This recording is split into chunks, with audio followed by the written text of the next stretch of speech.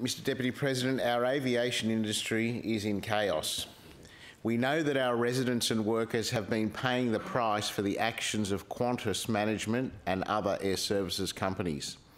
There has been a race to the bottom in the airline industry, led by Qantas management, where working conditions are becoming increasingly worse, which is also impacting our residents who cannot access reliable services. The decision of Qantas management to illegally outsource jobs during the middle of the pandemic has resulted in poorer working conditions across the industry. After Qantas illegally terminated its loyal workers, Dnata obtained low-cost contracts for certain groundwork. Dnata ground crew, who are within the supply chain of Qantas, are being chronically overworked and rosters are acutely understaffed. Dnata has been attempting to cut the pay of experienced workers, which would drive them to below legal award conditions. Dnata has failed to invest in full-time permanent jobs, refused to lift standards, and has also rejected the efforts by workers to increase part-time hours, which only places further pressure on the understaffed workforce.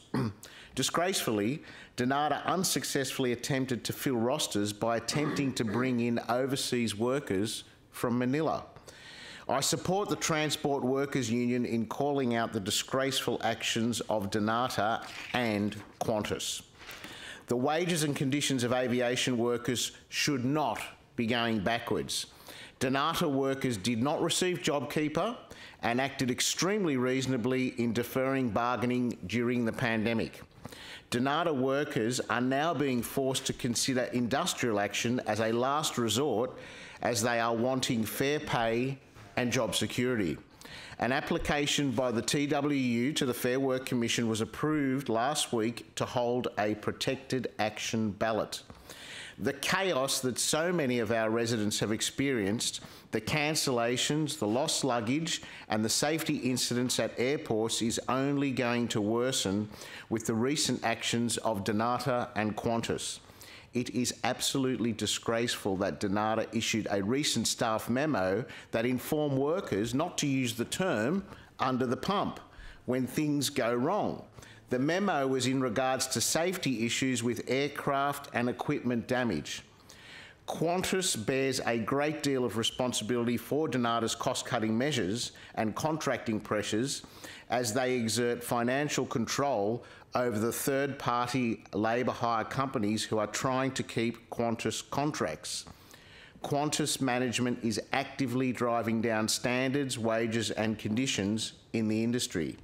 Since Qantas outsourced their groundwork, there has been an increase in safety incidences such as locking pins left in landing gear, belt loaders crashing into planes, and prior to takeoff, incorrect weight information has been provided to pilots.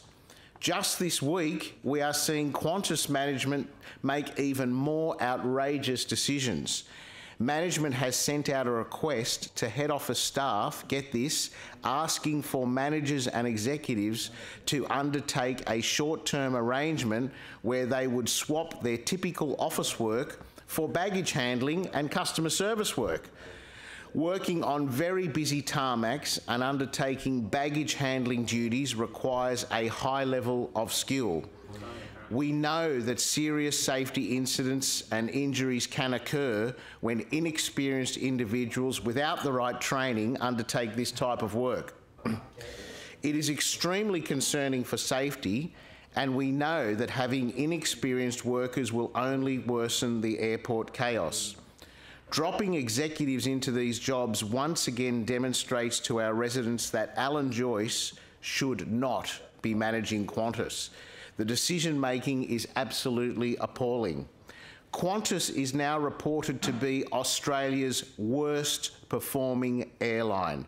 Our residents and workers should not have to endure the chaos that has been caused by the actions of Qantas management. The corporate greed needs to come to an end in the aviation industry. Workers deserve good conditions and secure jobs.